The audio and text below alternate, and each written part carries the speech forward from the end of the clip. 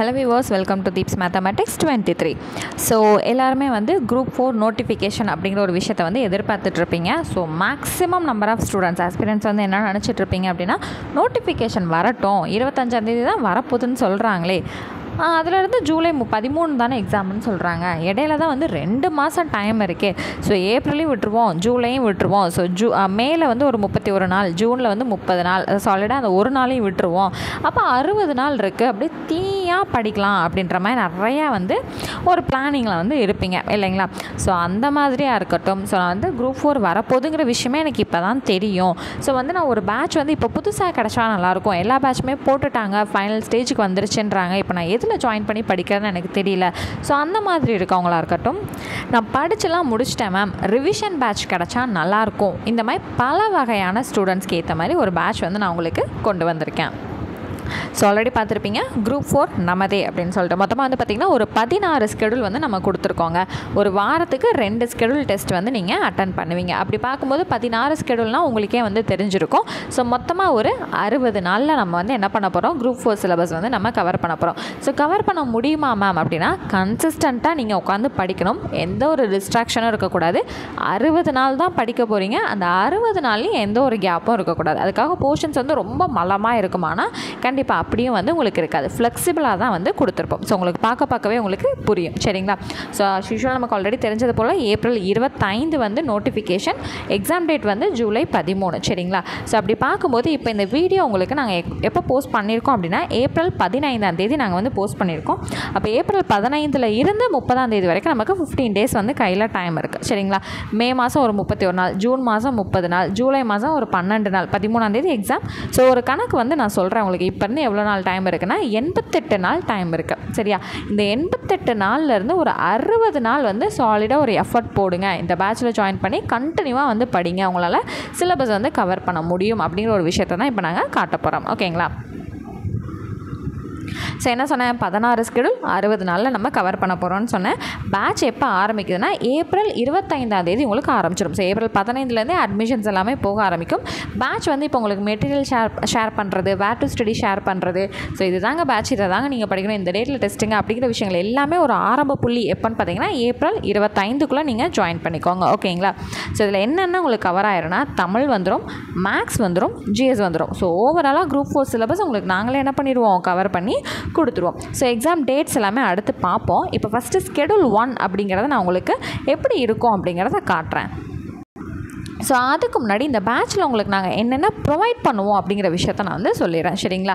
So இப்போ தமிழ் அப்படிங்கிறத எடுத்துக்கிட்டோம் அப்படின்னா புது சிலபஸ் படி நமக்கு மொத்தமாக எத்தனை யூனிட் இருக்குது ஏழு யூனிட் இருக்குது அந்த ஏழு யூனிட்டுக்கும் கம்ப்ளீட் வேர் டு ஸ்டடி இப்போ வந்து திருக்குறள் எடுத்துக்கிட்டிங்கன்னா இந்த இருபது அதிகாரம் இந்த பேஜில் இந்த பேஜ் அதாவது இந்த ஸ்டாண்டர்டில் இந்த பேஜ் நம்பரில் இருக்குது எத்தனை குறள் இருக்குது அப்படிங்கிற விஷயங்கள் முதற்கொண்டு ஒரு ஒரு டாப்பிக்குக்கும் உங்களுக்கு இதே மாதிரியே கொடுத்துரும் ஃபார் எக்ஸாம்பிளுக்கு தான் திருக்குறள் சொன்னேன். உங்களுக்கு சிலபஸ் யூனிட் ஒன்லேருந்து யூனிட் செவன் லாஸ்ட்டில் புள்ளி வைக்கிற வரைக்கும் என்னென்ன டாபிக் இருக்கோ அது எல்லாமே ஆறாம் வகுப்புலேருந்து பன்னிரெண்டாம் வகுப்பு வரைக்கும் புது சமச்சீர் பழைய சமச்சீர் சிறப்பு தமிழ் பொது தமிழ் எல்லாமே சேர்த்து உங்களுக்கு வேர் டு ஸ்டடி வந்துடும் அந்த வேர் டு ஸ்டடியை உங்களுக்கு மெட்டீரியலாகவும் நாங்கள் ப்ரொவைட் பண்ணிடுவோம். அது போக எக்ஸ்ட்ரா டேட்டாஸ் நிறையா உங்களுக்கு ஹேண்ட் ரிட்டன் பிடிஎஃபாகவும் நாங்கள் வந்து கொடுத்துருவோம். சரிங்களா? ஸோ இப்போ இந்த மயங்கொலிகள் வேறுபாடெல்லாம் இருக்குது இல்லைங்களா? லகர வேறுபாடு ரகர வேறுபாடு நகர வேறுபாடு. இது மட்டுமே பார்த்திங்கன்னா ஒரு நானூற்றி தொண்ணூறு ஹேண்ட் ரிட்டன் வந்து உங்களுக்கு நாங்கள் கொடுத்துருவோம். ஸோ இப்போ எதிர்ச்சொல் பார்த்திங்கன்னா இரநூறு வந்துடும் வேர்ச்சொல் வந்து பார்த்திங்கன்னா முந்நூறு வந்துடும் ஸோ அந்த மாதிரி கம்ப்ளீட்டாக ஹேண்ட் ரிட்டனும் உங்களுக்கு நாங்கள் ப்ரொவைட் பண்ணிடுவோம் ஓகேங்களா புக்கில் இருக்கிறதையும் கொடுத்துருவோம். அவுட் சோர்ஸும் உங்களுக்கு நிறையவே நாங்கள் ப்ரொவைட் பண்ணிடுவோம். அது எல்லாத்துக்குமே டீச் பண்ணுற விதமாக ரெக்கார்டட் கிளாஸஸும் உங்களுக்கு நாங்கள் ப்ரொவைட் பண்ணிடுவோம். ஓகேங்களா ஸோ அப்போ வேர் டு ஸ்டடி வந்துடும் அதுக்கு தகுந்த ஸ்டடி மெட்டீரியல் வந்துடும் வித் ஹேண்ட் ரிட்டனும் நிறையா வந்துடும் அண்ட் ரெக்கார்டட் கிளாஸஸும் உங்களுக்கு வந்துடும் சரிங்களா? ஸோ டெஸ்ட் கொஷின் எப்படி மேம்னா அது ஒரு ஒரு ஸ்கெடியூல் பதினாறு ஸ்கெடியூல் சொல்லியிருக்கோம் இல்லைங்களா? அந்த டெஸ்ட் போர்ஷன்ஸ் தகுந்த மாதிரி உங்களுக்கு டெஸ்ட் கொஷின்ஸ் வந்து அலாட்மெண்ட் ஆகி வந்துடும் ஓகேங்க.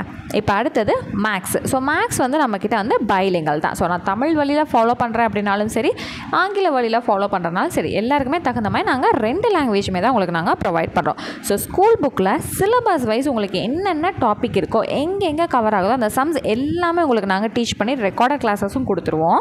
அந்த டீச் பண்ணதுக்கான ஹேண்ட் ரிட்டன் சொல்யூஷன் பிடிஎஃபும் நாங்களே ப்ரொவைட் பண்ணிடுவோம்.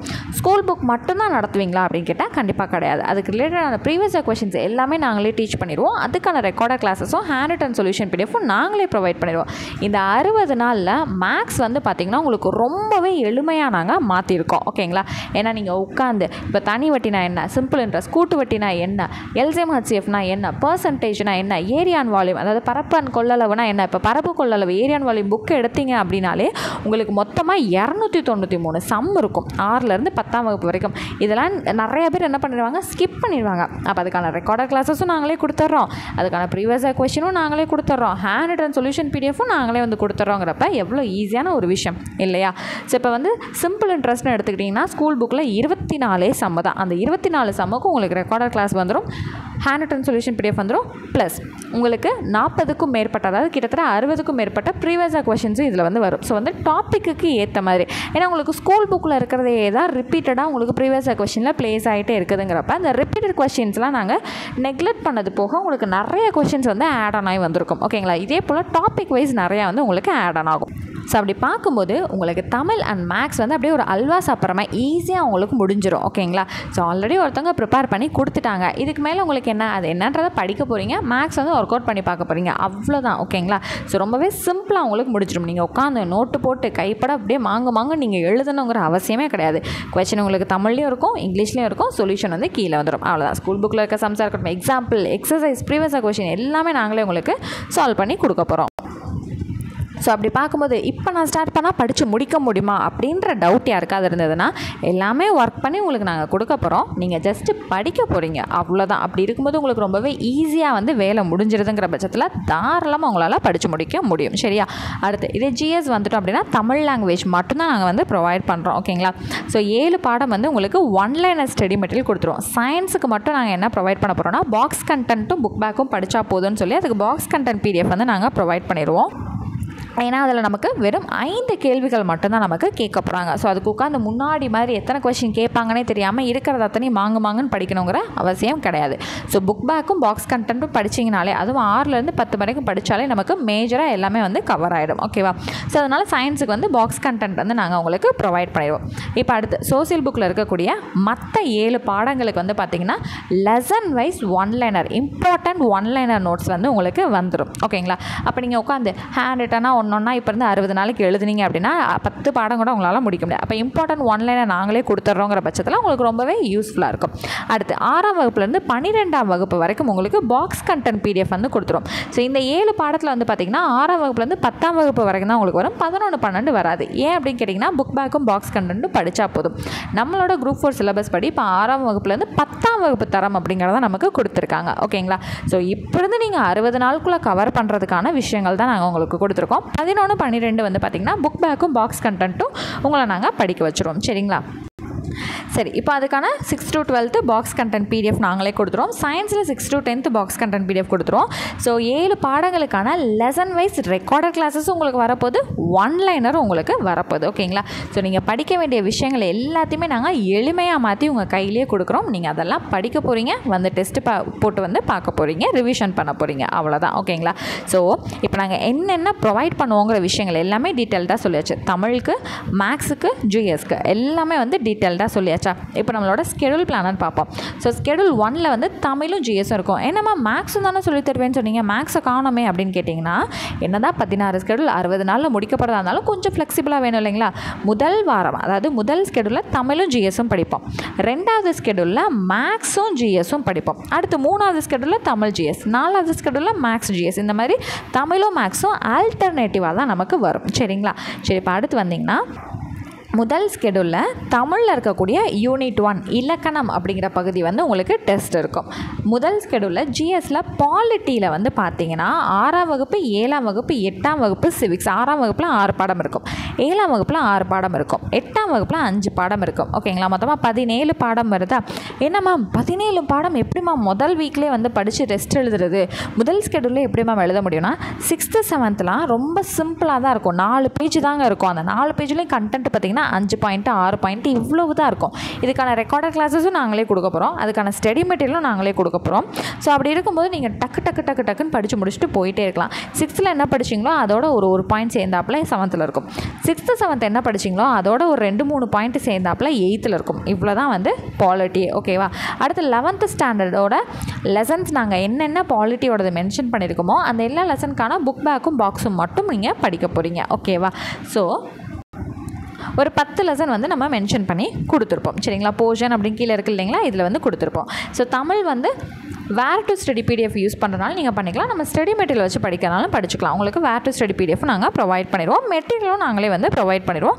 ஹேண்ட் ரிட்டனும் நாங்களே ப்ரொவைட் பண்ணிடுவோம். இப்போ ஜிஎஸ் பாலிட்டியில் பாருங்களேன் ஆறு லெசன் சிக்ஸ்த்தில் வரும்னு சொன்னால் அது என்னென்ன லெசன்ஸ் செவன்த்தில் வந்து பார்த்தீங்கன்னா ஆறு லெசன் தான். இது வந்து செகண்ட் லெசனும் சேர்த்து படிச்சுக்கலாம். அது ஒரு ஒரு பாயிண்ட் ரெண்டு பாயிண்ட் மட்டும்தான் இருக்கும் ஓகேங்களா ஸோ அது வந்து மேஜராக வந்து எதுவும் வராது. ஸோ அதனால தான் அஞ்சு லெசன் வந்து கொடுத்துருக்கோம். எயித்தில் அஞ்சு லெசன் கொடுத்துருக்கோமா? சரி அது என்னென்ன லெசன் மொத்தமாக எயித்து சிவிக்ஸ் பார்த்திங்கன்னா ஏழு லெசன் இருக்கும். ஆனால் நமக்கு சிலபஸ் படி அஞ்சு லெசன் தான் தேவை. அது என்னென்னங்கிறத நம்ம மென்ஷன் பண்ணியாச்சு.